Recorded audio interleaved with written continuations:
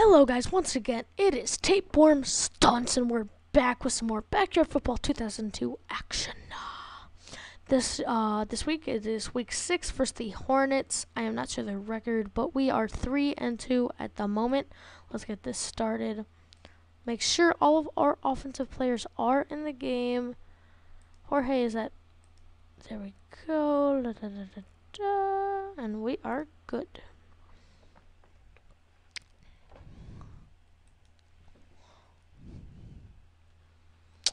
I don't want to listen to you. So it looks like the Chicago Bears versus the Mighty Hornets at Emerald Lakes Marina. So we are playing another away game, and this is going to be a win. Maybe, hopefully, kinda. I don't know. Maybe. I haven't played this game in so long. I, I actually took a break from recording for so long just because I yeah. Okay, Pete's going to make the tackle on the 11 yard line. We're going to get a power up for that. But the reason I stopped recording for a while, I'm not really sure of. Oh, nice sack by Jorge. That's going to pin him around the one yard line. Four yard line. Wow. See if Jorge could blitz in, stop the running back pass, and that's smart of the running back to run away from that. That might have been a safety for the other team. And they're going to run a hocus pocus play. Pete and Ernie are back there, and they're just going to come up with the pick. Ernie is going to be tackled down by the green haired ponytail poking out of. Never mind, it's blue. Wow. Oh no, maybe the quarterback's hair blue hairs. I don't know what's going on. Roll over. Pete. And Pete's going to take it to the 10, to the 5. Touchdown. Pete Wheeler and the Chicago Bears. No. I almost quit out of the game. That would not have been good. I guess if you press spacebar, quit out of the game. That's strange. Okay, Pete. So now we're going to kick a field goal. BFL action. Ricky's going to be. Reese is going to be stuffed in the backfield. Ricky's not going to get a chance to show his strong leg shine. And that is going to be a mistake and a missed opportunity for the Bears that could cost them the game. Let's see if Jorge can come up over here. And that is an incomplete pass. The running back seems to be scared of the ball in the backfield. And Tina is going to drop back and be sacked by Jorge at around the three yard line. That's a great play by Jorge Garcia. And he's a great defensive lineman for our team. And that's going to be a safety. Jorge Garcia with a safety. I think his third safety on the year. Can't be sure. Do not quote me on that. But this is going to get make up for those uh, that field goal that we missed. I'm sorry, uh, PAT. Point after attempt. Yeah. We're going to try a swinger out to Pete Wheeler. Pete Wheeler is going to be down to the 40, the 50, and be tackled by Tina, the uh, Hornets quarterback. And it's the bomb, and Ernie Steele's going to come up with it. He's running down the sidelines, and he's going to be stopped at the 20-yard line. We have a power-up, and we're going to see if we could save that. Hand it off to Pete Wheeler. He's going to be, the corner is going to be stuttering, not knowing what to do with Pete running straight at him, and that is going to be a mistake. And Pete Wheeler is going to catch the ball and take it into the end zone for six. Second touchdown on the day. Second uh, receiving touchdown on the day, that is. And we are going to go for the go for the extra point because our off our line cannot block for their lives, and that's Pete in the end zone with our famous play, the rollover. Ricky's going to be kicking it off deep, and it's going to bounce back all the way to the 20 yard line. Dacey's going to shed a tackle and be tackled at around the 28 yard line. And I'm talking so fast right now. I usually stutter so bad when I try to talk fast. It's it's kind of strange. This brings out something different. It's the brighter side of me, you know? It's backyard football. Okay, so that's going to be an incomplete pass. Passing it to nowhere should have been intentional grounding, but that is not in this game. Ernie Steele is going to go for a second interception of the game. We're going to see if we can do a spring loaded over to block this punt. And yes, we can. Jorge's going to come up with another 20 yard loss in the backfield. Great play by Jorge. And Pete is going to be stopped at around the one. Uh, one yard loss, and we are going to try a cross play. See what can come up with, and Ricky Johnson, clutch receiver, is going to come up with a catch, reaching all the way down to the eight yard line. And I'm watching Ernie Steele in the corner, and he is going to miss the ball. Ricky Johnson or him could not get it off the bounce. This is fourth down. Seems like a good time for Tornado, but we're going to save it. Use the rollover play, and Pete's going to get the completion for the touchdown. Third touchdown, third receiving touchdown in the game, and we're bouncing at we're bouncing back after that terrible loss in week five. And Ricky is going to get time to finally get one of the PATs, but he is not going to be able to make it. I don't know what's going on with my computer right now. Looks like my mouse pad just deactivated for some reason, which is very strange. Little notification came up, and Jorge is going to jump up. Jorge is being a defensive star today. Nobody could stop him. This blocker must feel ashamed. Jorge is going to leap over the offensive lineman, get the pick, and we're going to use a swinger play out to the right side. This is going to be Pete's first rushing touchdown of the day. Already four touchdowns on the day, and whoever has Pete Wheeler for his fantasy team will be happy. Ricky's going to get time to kick it, and one more time he's going to kick it off the left upright. He's not going to be able to complete that. So it is 28 to 0. The Bears are in the lead. And Jorge is going to jump up for it again.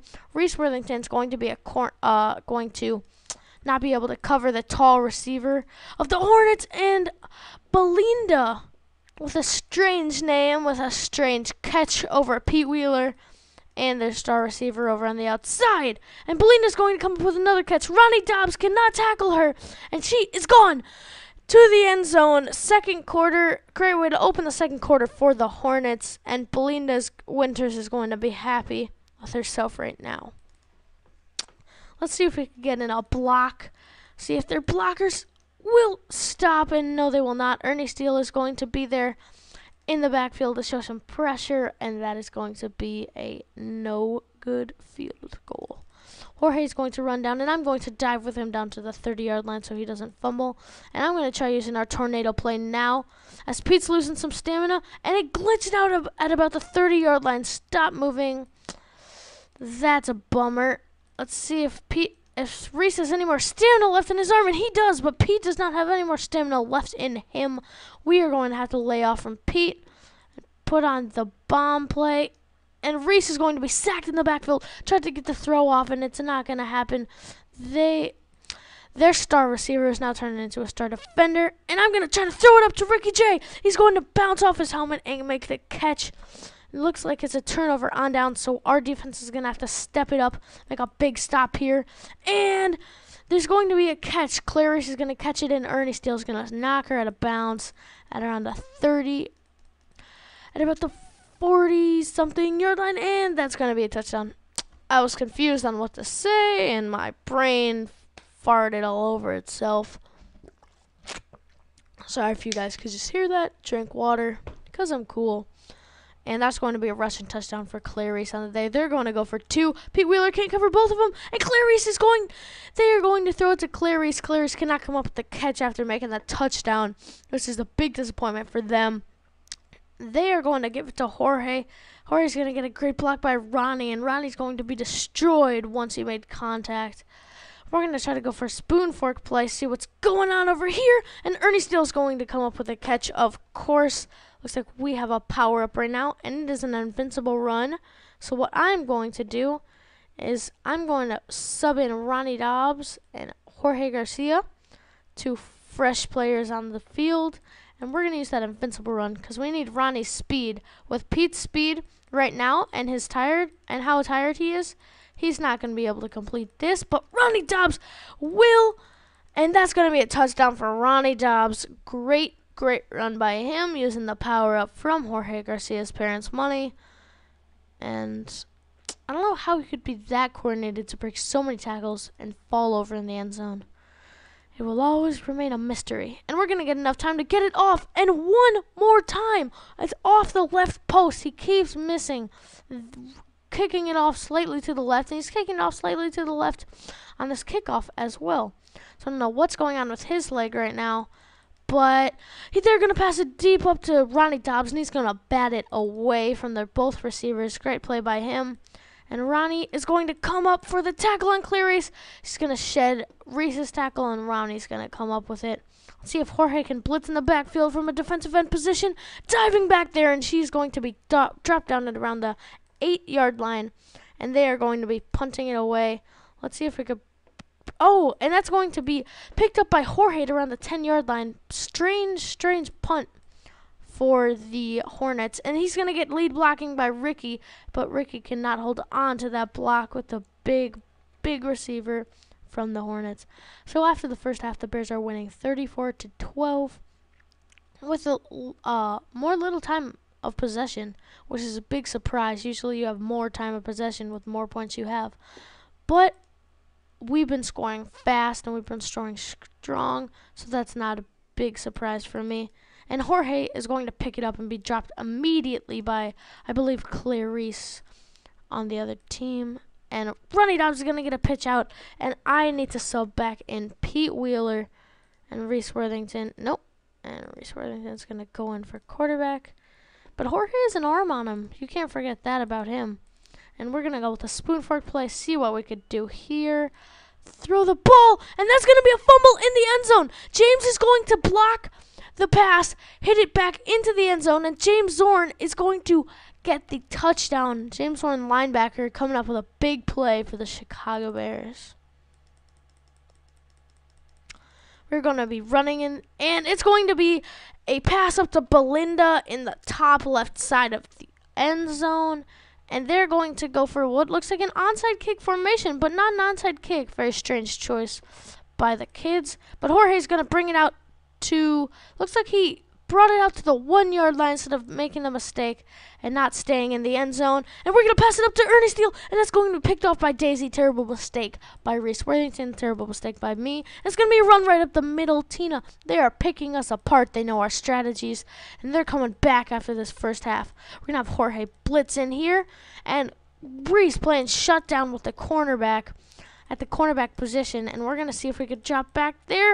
And Ronnie Dobbs is going to hit it out of the end zone. Ronnie Dobbs has been playing really well on Belinda, and this is going to be a field goal. Can they make it? Yes, they can. It's going to go straight through the uprights. And that is going to bring the score to 23 34. Bears are still in the lead. I'm going to dive down so there's no fumble. Let's see what we could do with here. Let's see if we can use the bomb throw it up there for our receivers, and Ernie's going to come down with it. Dangerous play by Reese, but he's going to trust in his receivers and trust in Pete Wheeler. Pete Wheeler's at the 30, at the 20, at the 10, and they are going, he's going to shed a tackle and should drop down at the one yard line. Great, great effort by Pete Wheeler. Uh, we're going to run a Joe Mama up the middle, going to be tackled and lost for around two yards. And we're going to see if we can use rollover one more time. And yes, we can. Pete in the end zone fifth touchdown on the day, fourth receiving. Pete's having a great day, and so is Reese Worthington. Let's see if we can go for this with a cross. Trust in our receivers. Throw it up here. And Ricky Johnson's going to come down with it with a clutch receiver. He's going to get a clutch two point conversion. Boost up our lead uh, to 42. And Pete's going to be back there and making a crushing hit on Belinda. She can't go anywhere. It's been a great game for us so far. And Ronnie Dobbs is going to play another shutdown cornerback play on Belinda. She has been shut down this entire game. And Ernie Steele is going to dive and knock the ball away. This is great defensive effort, stuffing them on their own seven yard line. And it's going to be tossed over to Reese. And Reese Worthington coming up from his position, making a great read on the other team. And he is going to be able to stop that run from getting any farther. And James Zorn is going to make the tackle on Pete. And that's a terrible pass by Reese Worthington. Pete's going to luckily make that tackle, hope maybe saving a pick six. And we've learned our lesson. We're going to blitz straight up the middle now. Tina's going to try to run it up there on Jorge, and that's not going to happen. It's going to be a interception by Ernest Steele after using a cough drop on that play, hoping to cause a fumble. And we're going to run it with Reese Worthington, and that's not going to happen. We are going to try a rollover play. Is Ernie Steele's open? No, but Pete is, and We don't have time to dump the ball off. We're going to try that one more time. And we're going to have to throw that away, and that's going to be a fumble in the backfield. They're going to fumble it once again. Clears fumbles in the backfield, and Pete's going to be brought down there at the 30 yard line. This is crazy. We're going to throw it up to Ricky Johnson. He's going to reach down. Not enough for the first, but that is going to. This is going to get us in great field position, and we're going to throw it up there for Ernie. And Ernie's going to come up with the catch after a terrible, terrible uh, fumble in the backfield, scrambling for the ball. Nobody knows what's going on. Ricky J's going to be open on the hocus pocus play. He's going to make a move on Belinda, and he's gone. Touchdown. Great juke by Ricky Johnson. That's an amazing, amazing play for him. And let oh, and that's a terrible kick by me. I was I I tapped left click too many times, and it looks like my game is trying to catch up with all the action right now. Still playing Ricky Johnson's touchdown music, and Chuck was talking about the play that just happened as Ricky was in the end zone. So my game's lagging a bit, but we're going to be sending Reese in for this blitz, and Ernie's going to make a great try uh, at cornerback position. He's been showing a lot of effort today, which I've really appreciated, and Pete's going to knock it away from Belinda. Belinda's being shut down today, nothing to work working for her, and right as I say that, she's going to chuck Ronnie Dobbs a tackle two times. Break break his tackle after the immediate catch. Ronnie Dobbs shows a second effort, and she shows a third. That's going to be a touchdown, second touchdown on the day for her, and over 100 receiving yards. This has been a great, great, great game so far. It looks like we're still in a commanding lead, and Jorge jumping up for that block, not going to happen. But 40 seconds left in the fourth quarter. Doesn't look like there's much hope for the the Hornets at this point.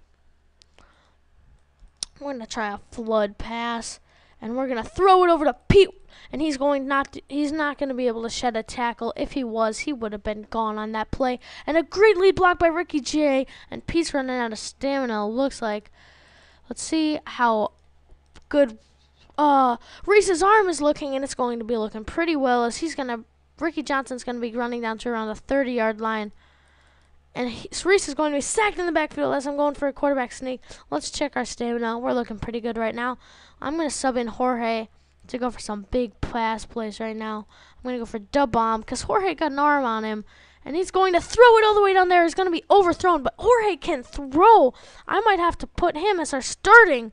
And he's going to lead his receivers. But James, with an amazing, amazing play. James Zorn, the one who, he wants this ball back bad. He caused a fumble in the end zone, picked it up for a touchdown. Now he's going to come up with an interception, and Belinda's going to come up with another touchdown run.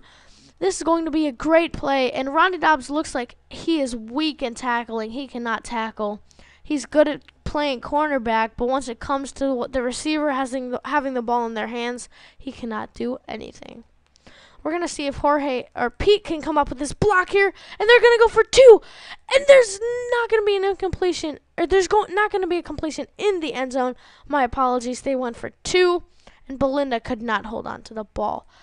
And Hor- and it looks like Ricky J is going to pick up the ball after being fumbled around in the backfield. We're going to go for a dub bomb one more time, leading Ricky J deep. Perfect pass by Jorge Garcia. Ricky J is going to break a tackle, and he's going to go all the way. Clutch receiver.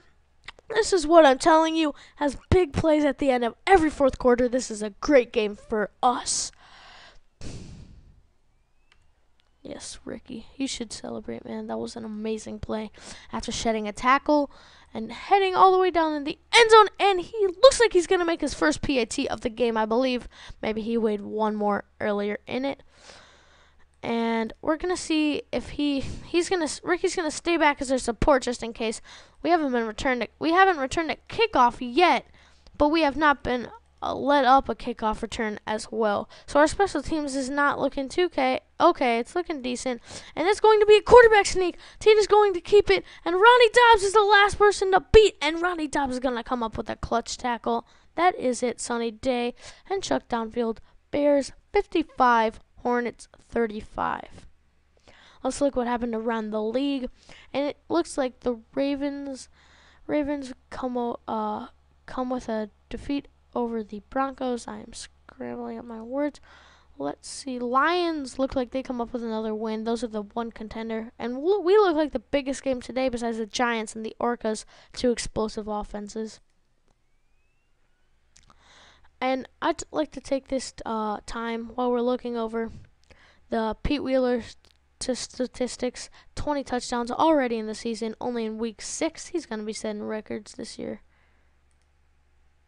So thank you guys for watching so much. Really appreciate it. Uh, like, comment, subscribe, and please click on all the ads that you can. um, see you guys next time. Goodbye.